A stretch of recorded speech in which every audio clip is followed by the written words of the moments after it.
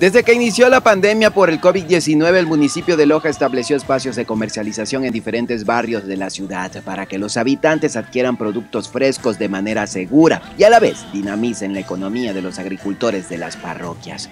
Hoy la Dirección de Inclusión Económica ayuda con una nueva imagen e indumentaria a los participantes, donde aparte se les otorgará otros utensilios. El segundo componente que es la entrega de mobiliario de acuerdo al giro de venta, con una mesa adecuada para que puedan ustedes comercializar sus productos.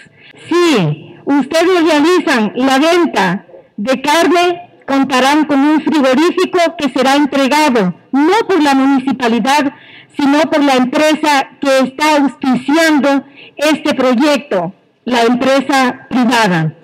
El tercer componente será la entrega de carpas para que ustedes puedan seguir haciendo la comercialización de los productos de primera necesidad. Debido a la demanda existente, el ayuntamiento estableció estos espacios en los diferentes barrios, integrando a comerciantes que antes expendían sus productos en las ferias libres. Rosa Merino indica que aquí se cumple con los protocolos de bioseguridad, distanciamiento social y los horarios establecidos. Y vamos a continuar, vamos a ir mejorando cada día.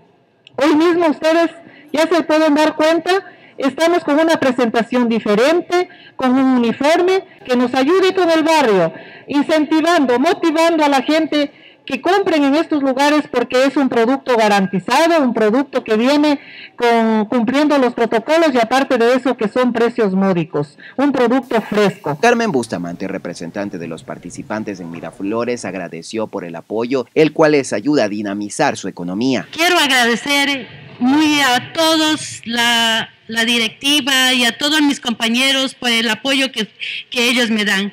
Y especialmente dar un, un saludo y una gratitud en nombre de todos mis compañeros al ilustre municipio de Loja. Beatriz Briati, presidenta de Miraflores, pidió mantener estos espacios que acercan a los hogares productos de primera necesidad, porque así se evita aglomeraciones en los mercados. Acuerdos eh, que sean siempre en beneficio para el barrio y no solamente en este espacio que nos encontramos de comercialización de productos de primera necesidad, viendo el bien también de las personas que están en este espacio.